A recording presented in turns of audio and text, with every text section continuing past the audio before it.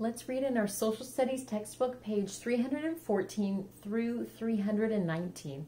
And also if you're interested, you can continue to check out some how it's made videos in the social studies supplemental playlist on my YouTube channel. You can take a look at ice cream sandwiches and peanut butter. When you're ready, let's get started on your textbook, page 314. Page 314 says people at work. In a community, people have different jobs. Many people work in offices. Others have jobs outside. Some people wear uniforms to work. People are working everywhere. Let's go ahead and take a look at some of these jobs and decide if they are services. Let's take a look. Here we have a store clerk this person is providing a service because here they are helping making sure that the shelves are stocked full of items to purchase and they are paid for their job. A construction worker, really helpful in the community because they are serving others in a way by completing their job and then they get paid for their job. Here we have a dentist, certainly helping by doing a job that we could not do for ourselves so a dentist is a service as well, helping others and getting paid for that job. A ballet teacher, or really any kind of teacher, also is a service. If you take a look here, we have a police officer serving the community. A taxi driver here would actually take somebody maybe to an airport perhaps, and that is performing a service for others. And let's see, there's another one here, an architect someone who's building or making plans for a building, and probably later we'll have some construction workers helping to make that plan become a reality. When you're ready, let's go ahead and turn the page. You'll see we're here at the end of our Unit 6, all about the marketplace, goods, and services. So our next social studies class time will be our test. So we're going to use today as an opportunity to review important vocabulary and things that we have learned from this unit. So let's take a look right here where it says use vocabulary. And here we have our vocabulary words listed and we have what they mean here. I'll read these meanings and then we're going to try and match up what word matches that meaning. So let's take a look at the words first. Go ahead and repeat after me. Goods, services, market, trade, factory. Okay, let's take a look. Number one, a place where people buy and sell goods. A place where people buy and sell goods. Where would you go to buy a good or sell a good if you made something? Would you go to goods, services, market, trade, factory? Well, think about it. Where do you go when you need to buy something? Maybe just even your own groceries. Things that you eat or things that you need for school. Maybe if you need some new clothes. But if we go back to that grocery store, sometimes grocery stores are actually even called a super, hmm. Think about it. It's called a super market can also think about a farmer's market too, or even online. You can buy things online at an online marketplace. Let's take a look at number two. A building in which people use machines to make goods. Okay, a building which people use machines to make goods. If you've been watching those how it's made videos, you've seen a lot of these buildings. Are those buildings called goods, services, trade, or factory. That type of building is called a factory. Factories are where they make goods. Okay, number three, things people make or grow to sell. All the things that people can make or grow to sell. Things that they can make. For example, the paper that makes up this book all of the pencils you do for writing or crayons, a chair, a table. If you have some other things though, when it says that people can grow, for example, if you have a plant, somebody had to grow this plant to sell it. So these kinds of things,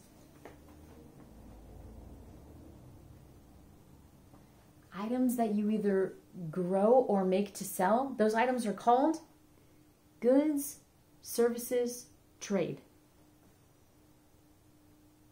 They're called goods. Let's keep going. Number four, kinds of work people do for others for money. Kinds of work people do for others for money. Services, trade. Services. Okay, let's take a look at number five. To give one thing to get another. To give one thing to get another. For example, with this plant, let me get that back out. If I saw this plant at the store and I decided, hmm, I think I would like that plant. Okay, I'm going to take it. Thanks everybody at the store. Thank you for just giving this to me. Thank you. Okay, bye. That's not how that works at a store. That is actually called stealing. That is not what we do. There has to be this giving one thing to get. If I want to get this plant, sure, I may do so, but I have to give something. What is it that I have to give? If I'm at a store, I have to give money or some kind of payment, right? If I pay for this, then I get to take this. Now, Sometimes, though, there are other opportunities if you are maybe doing something where you give one thing to get another. It's not always money. For example, maybe you do a chore at somebody else's house, and then when they're at your house, they do a different chore for you. There, you are giving and getting, but no money was involved. So, this kind of interaction is called a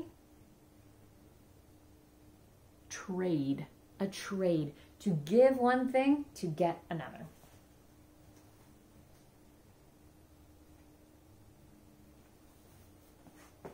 Let's continue on number six. Where do people buy goods in a community? If you need to buy some goods, where do you go? Just think about your own community. Well, you can go to different kinds of stores. If you want to buy some food, you can go to a restaurant. The restaurant will have some food there for you. But also you can even go online, right? And buy things on online stores too. Let's look at number seven. What do people use to pay for goods and services? Hmm, if I need to pay for a good and service, what do I use?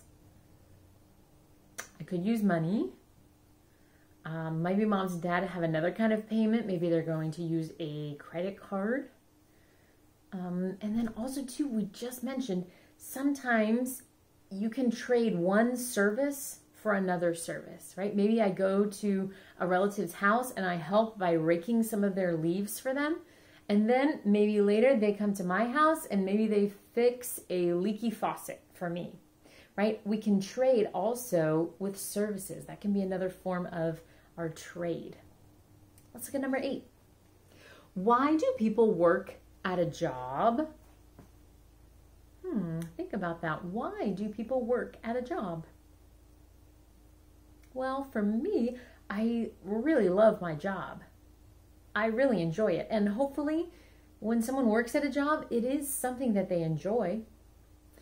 And also, too, people work at a job because they need to earn money, right? We need money in order to buy things and provide for ourselves. So we also need a job in order to earn money. Let's take a look at nine. Which of these is a good? Okay, which of these is a good? Remember, a good is things people make or grow to sell. Which one is a good? A, haircut. B, doctor. C, car wash. D, bicycle. Which one is a good? Hmm. Someone had to make or grow this to sell it. You cannot make her grow a haircut to sell it. You cannot make her grow a doctor to sell it. You cannot make her grow a car wash to sell it. But you can make a bicycle to sell it. So D is a good. 10. Which of these is a place where people put their money to keep it safe? Which of these is a place where people put their money to keep it safe? A. Bank. B. Market. C. Factory. D. Business. The best option would be A. Bank. Great job. When you're ready, let's turn the page.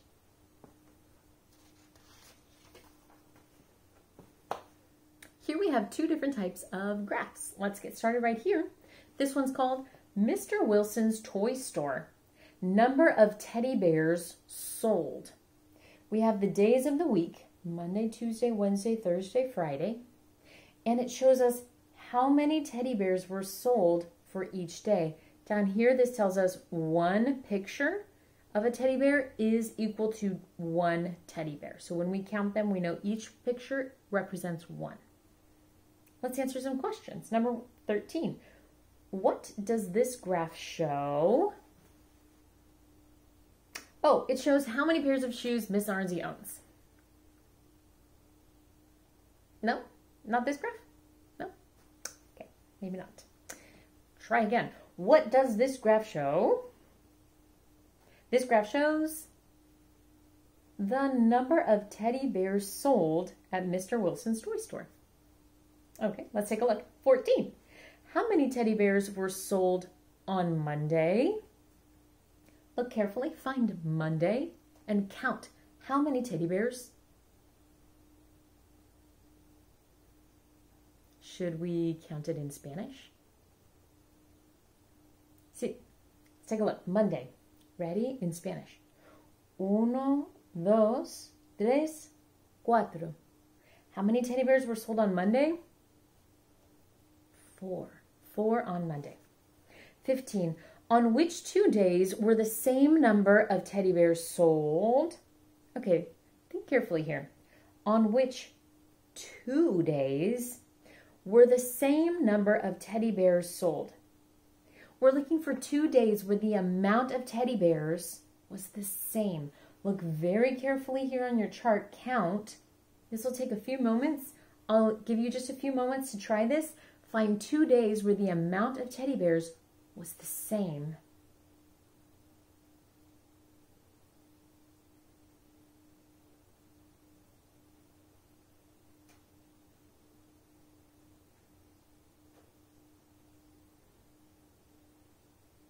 Could you find them? Let's look together. When I look at Monday, I see no other day aligns with the same amount. So I'm going to scoot down to Tuesday. Tuesday ends here. This one has that, but it has another one, so that's not the same. But look here, this does match. Tuesday has one, two, three, four, five. Friday has one, two, three, four, five. So the two days that have the same amount of teddy bears, Tuesday and Friday. Let's look at 16. On which day were the fewest teddy bears sold? Which one has the fewest? That's pretty easy to spot. Wednesday, because it only has one. Great, we have one more page to do. Let's look together. This is Mr. Wheel's Car Repair Services. Here we have a list of car repairs. And down below, they have this number graph to help us know how many services were performed. Let's take a look at what the services are. Oil change, car wash, fix flat tire, new brakes. Now let's answer some questions. 17. What services does Mr. Wheel do for people? He gives people haircuts. No? Not, no? Wrong, Mr. Wheel? Okay. Um, Mr. Wheel makes and scoops ice cream. No? Not this one? No? Okay. All right, let's try again. What, what services does Mr. Wheel actually provide to people? Well, it says right here, he's a car repair service. So let's see what the, the options are. Oil change, car wash, fix flat tires, and new brakes. These four are the services that he performs. 18. What service did most people need? Which one has the most?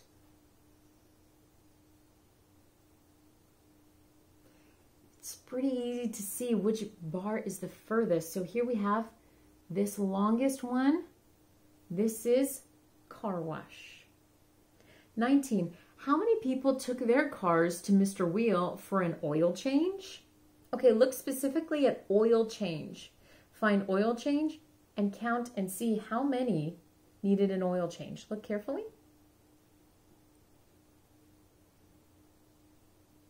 Here we go to oil change. We slide across our bar.